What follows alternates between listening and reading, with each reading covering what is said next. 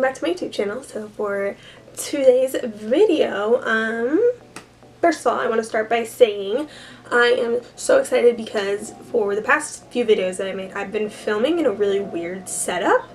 So like I've either been sitting on the floor, like crisscross applesauce, which has been killing my hips, or I've been sitting on my feet, which has been killing my feet. So long story short, I got this little miniature chair that I'm super excited about. so I actually get to sit like a normal person.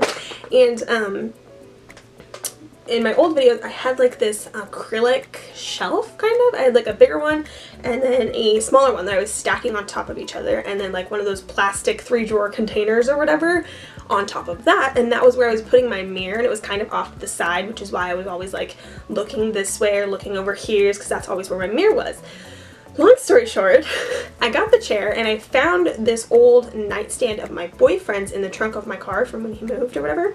And it is the perfect height for this chair and for my mirror. So now my mirror is actually sitting right here in front of me so I won't be distracted looking over there anymore. I'm going to be looking right here the whole time and I'm just really excited because I feel like it's going to be a lot more fun to film and less of a hassle trying to like makeshift a table and stack everything on it and sit on my feet and kill them and everything. So I'm super excited. So moving on to the actual video, I'm going to be doing a date night smoky eye look for you guys today. I did just take off my makeup that I was wearing today, which is why I look so weird but still have eyebrows on, so I apologize. But we are going to be doing a very warm brown, some black, maybe a winged liner, I'm not quite sure yet. Just a very smoky, blown out, bombshell date night look, if you will. And I'm super duper excited, so we're just going to jump right in. Okay, so since I did just take off my makeup and I kind of stripped my skin of everything, I'm just going to put a little bit of face oil back on. This is the Beautycounter number 3 face oil. This is my ride or die. I love this stuff. I use this typically only in the mornings underneath my moisturizer, but it is a great base for makeup. I do have very dry skin, so I'm all about oils and moisturizers. Alright, so we're just going to start off by priming the eyes, and for that we are going to be using the Maybelline Fit Me Concealer in the shade 10 Light. Um, I have noticed, I know I've only made like six videos, but this pisses me off as someone who watches YouTube videos all the time. Like, I hate it when people do it. But I've noticed I've been using the exact same stuff. So today we're going to switch it up a little bit. Like, I don't have that many makeup products. Like, my collection's not huge.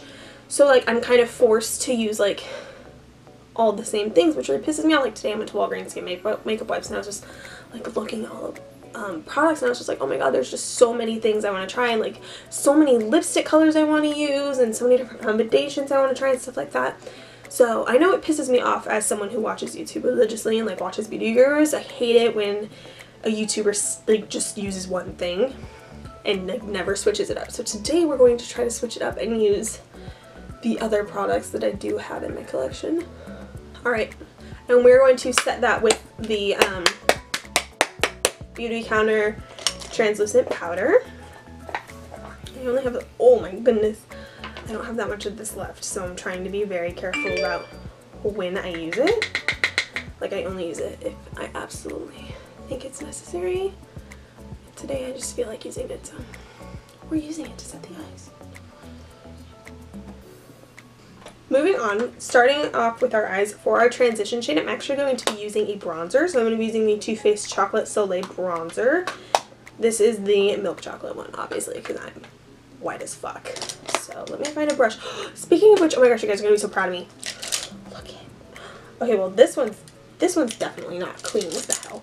But I cleaned all my brushes. Like, hold on, there's a brush in here. I don't remember the last time I saw it white. Like TBH, I don't remember the last time this brush was white. So I'm super excited to do this today. But I cleaned all my brushes and I'm super proud. Anywho, back to what we were doing. Finding a brush for my transition shade. This one should work. This is just a Bestopi? I don't know if I'm pronouncing it right. Bestopi brush. I think I got it off of Amazon. A big fluffy brush. I'm just going to be using this for the transition shade. Okay, anywho, so um, I just got some kickback from this like in my mouth and I know that sounds absolutely disgusting but it tastes so good. That sounds so weird because you're not supposed to eat your makeup but like it tastes like chocolate so I'm not ashamed that I just got some in my mouth and it tasted good and I kind of enjoyed it. Alright, so we are just blending this all up in the crease as a nice transition shade. I think I want to go for something super smoky and like sultry.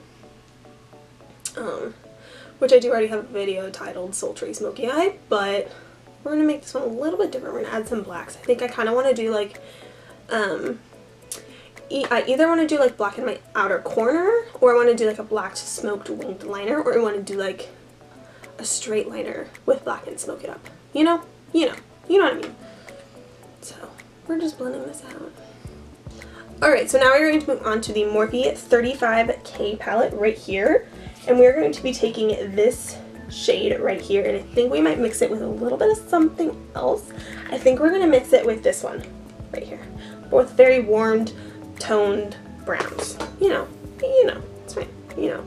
And I think I'm going to take the exact same brush I just used, just wipe the color off a little bit.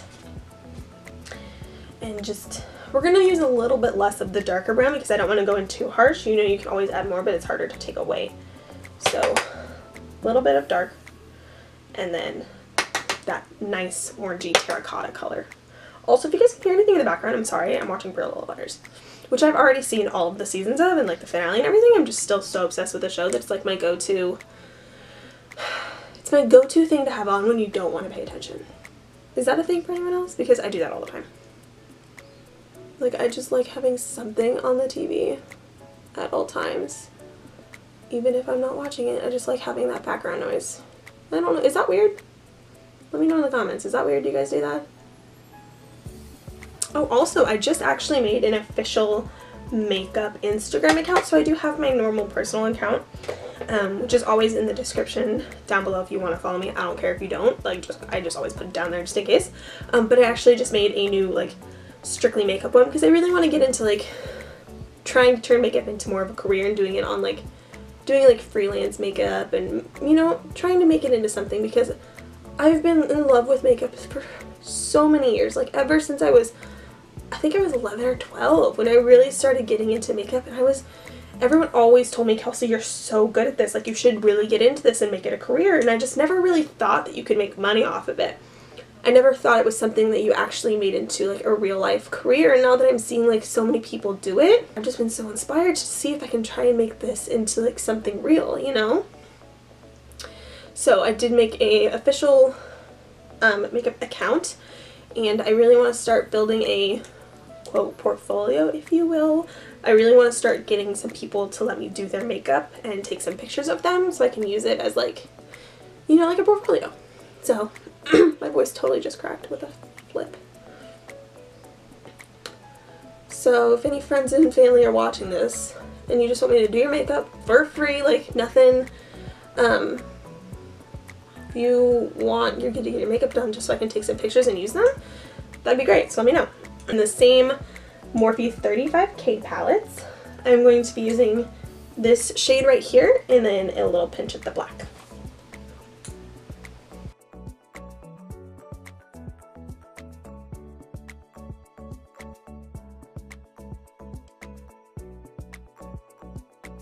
Okay, so now that I got that color on there, um, I'm actually going to go back and blend it out with the brown, but before I get into that, I'm going to do it on the other eye. Okay, so I'm going to be taking this BH Cosmetics Rounded Fluffy Brush, which still, um, I'm pretty sure it's just stained with a little bit of blue. But we're just going to take some of the original orangey brown shade in the top right corner that we used um, and use it to kind of just melt the black and the brown.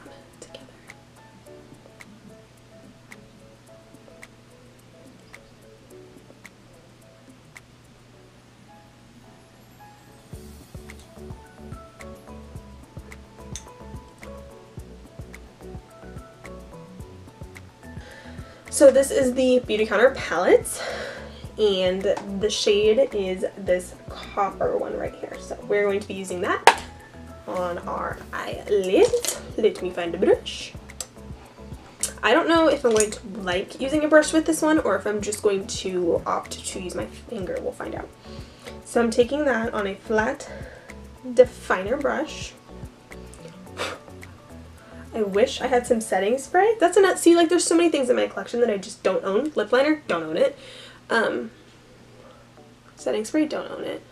There's just so many things in my collection that I would love to add and new products I would love to try. This is beautiful.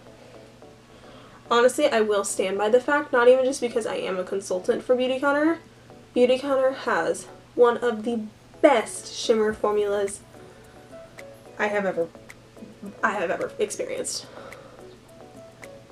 Like truly, truly, truly just some of the best shimmers out there. Like look at how beautifully this is applying. Oh my god, stop. Kill me. Kill me right now. That's so pretty. I'm in love with this. Doing the same on this eye. I think we might, oh, I got it in my eyeball.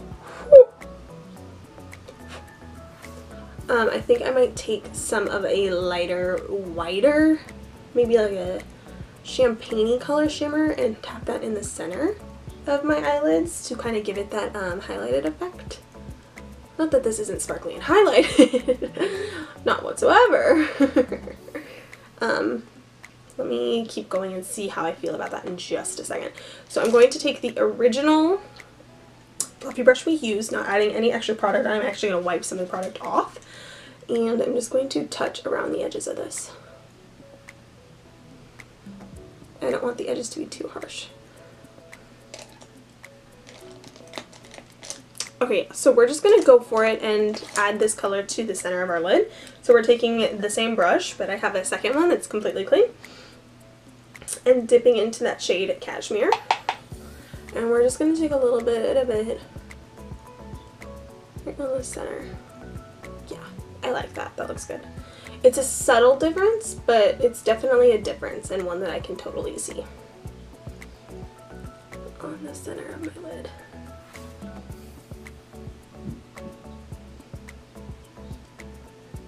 Now, since this is probably driving everyone crazy, I'm going to clean that up.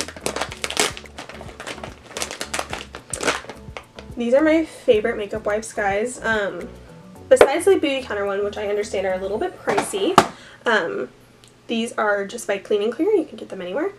But they're the night relaxing makeup wipes and they smell bomb. So, um, as always, I only own one, like, true gel liner. And to be honest, it's not my favorite because of the fact that it does not move. Um, and I'm not kidding. If you want to wear this eyeliner for 85 days, um, you probably could. it's like a, I swear, it's like a tattoo eyeliner. Like, it stays in place and it's amazing in the sense that it stays in place, but it's also sucky in the sense that it stays in place and doesn't come off that well. So this is the Tarte Tarteist Clay Paint Liner. Um, I don't know if they claim this to be waterproof, but it sure is. I, I swear, like, I don't know if they actually claim that, but to my opinion, it's, it's waterproof. So if you're looking for a good waterproof eyeliner, if he wants to take you swimming on that first date, this one will work.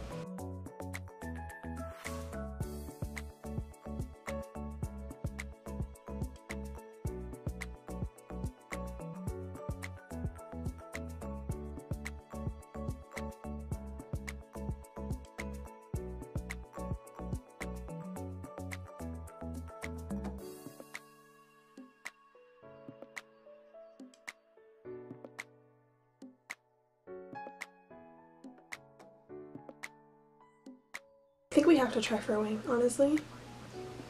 So I'm just going to take a little bit of this. And like I did in my last video, we're just going to stamp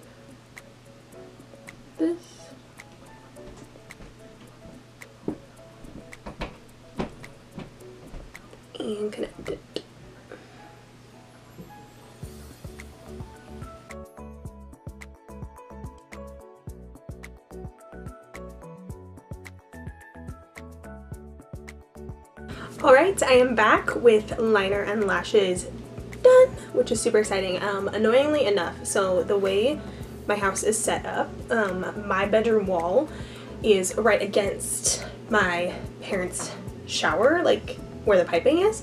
So whenever someone takes a shower in their room, it's ridiculously loud in my room. So it just so happened that for the past 15 minutes I've been sitting here waiting for someone to get out of the shower now I'm back. We're gonna move on and do our face, which I'm super duper excited about. I know I always start with the liquid highlighter, but like I said, I'm trying to do different things today. Not necessarily going to be using the liquid highlighter as our face. We're actually to mix it in with our foundation today because even though I'm trying to use different things, I still have got to use this. I'm sorry, I need to turn my TV down a little bit. So I'm going to be using a different foundation today, and this is the Maybelline Fit Me foundation. I'm hoping this is my right shade because I bought this, but I've never actually used it. So I'm hoping it's a good shade match for me. I'm actually going to put my hair up really quickly because I just prefer to have my hair up when doing my this. Okay, so this is the Maybelline Fit Me Dewy and Smooth for normal to dry skin in the shade 110. So I'm just going to take, hold on. First of all, I'm going to clean off the back of my hand because I don't want that getting into my foundation. and then I'm just going to take a little bit of this and drop it onto the back of my hand. I really hope this is the right shade. I am the worst at shade matching. Worse than James Charles, I swear. I just cannot get it, you know? First off, that feels like way too much foundation, but whatever. Okay, I think this is going to be a good shade match. Let's hope. So we're going to mix it with the True Match Lumi Glotion in the shade 902. This is the darker one of the two that I own, but it felt fitting for how bronzy we're going to make this look. And I'm just going to mix that in with each other. And then I'm going to work off the back of my hand. I know I usually dot it all over my face, but I feel like when I do that, it settles in certain areas if I don't blend fast enough. So I'm actually going to work off the back of my hand with my beauty sponge. So, oh my god, this is a good color, right? Right? Please tell me it's a good color. oh, I hate the sound of beauty blenders.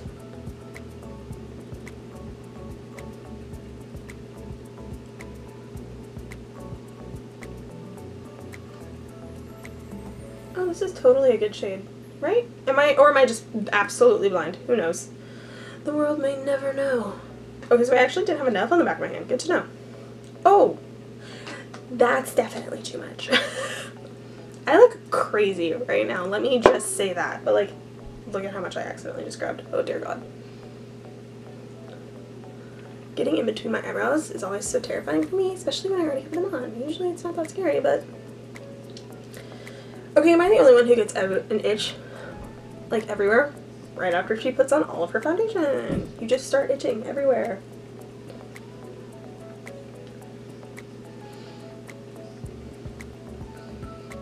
And I feel like this spot right here is where I, like, neglect the most because it is quite hard for me to get in there because my eyebrows and I don't want to mess up my eyebrows. I mean, eyebrows I can always go back and fix. It's really not that big of a deal.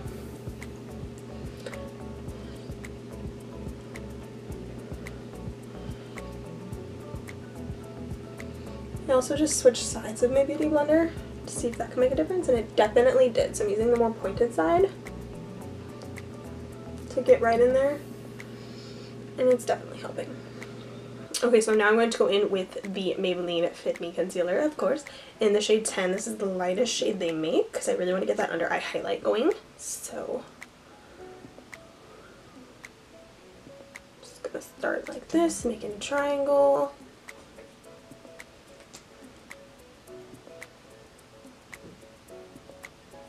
And then I'm going to go in and blend it out. I also, look at how big this one is compared to the normal size. So,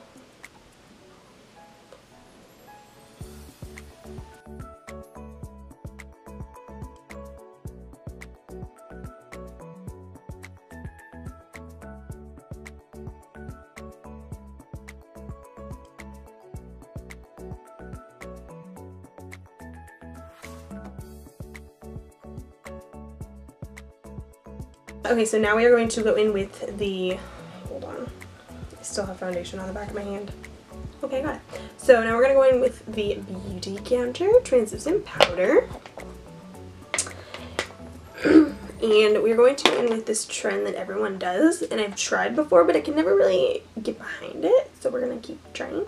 Um, and that is to use your damp beauty sponge as your, like, to put your powder on. So I'm just to take what's in the cap.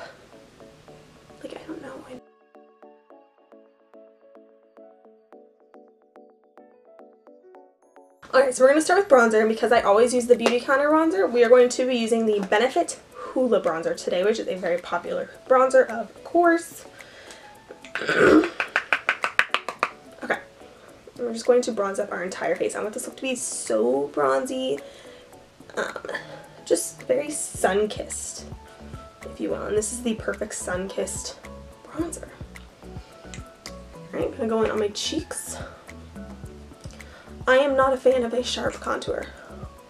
Never have been. Don't think I ever will be. I just think, I don't know, it just looks so unnatural. Like, you know, no one has that. It's just not a thing. Like, I hate it when someone has such a sharp contour and they just turn to the side and it's just like a line.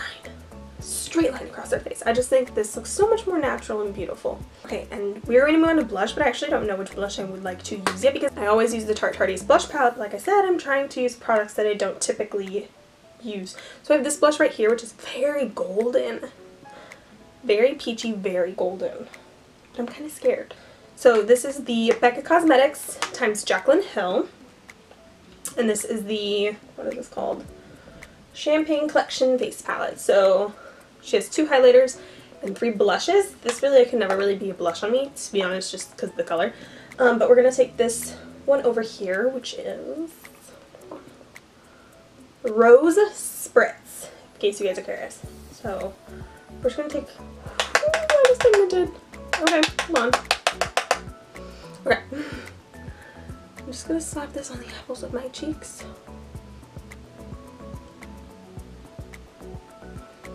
That's pretty. That's very pretty. Could be really bad if you go in too heavy-handed at first, not gonna lie. Alright, moving on to high... you see that? I don't think you can see it. moving on to highlighter, I always use my Lorac palette, um, but today we're going to be using the Mary-Lou Manizer by The Balm. And I don't have that much of this left, I'm not going to lie. This is a really, really empty, like, look. We're just going to try to get what we can out of here. This is a very very pretty highlighter and I've always felt like it was the perfect shade for me. I just have never repurchased it. I don't know why. To be, I mean, I know why. I'm broke. 36 cents in my account right now. But, you know. Alright, so we're going to try the Beautycounter lipstick in the shade Brunch.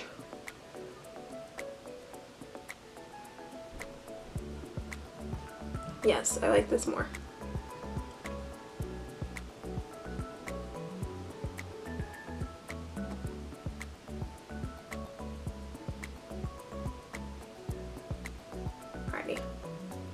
Alright, and then we're going to top this off with a gloss. This is the Beautycounter lip gloss in the shade Bare Shimmer. This is my favorite lip gloss of all time.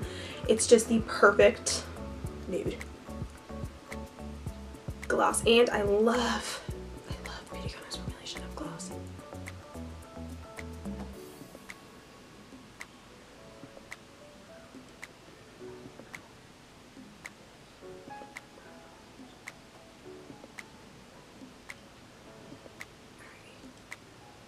Alrighty, that is it for today's video. I am loving this look. It is just such a classic bombshell smoky eye. I think it's so pretty. I'm loving how it turned out. I did struggle a little bit to find a matching lip color because that's just not something I'm great at yet. I still have lots to learn. But if you guys like this video, please subscribe, give it a thumbs up, and I will see you guys next time. Bye.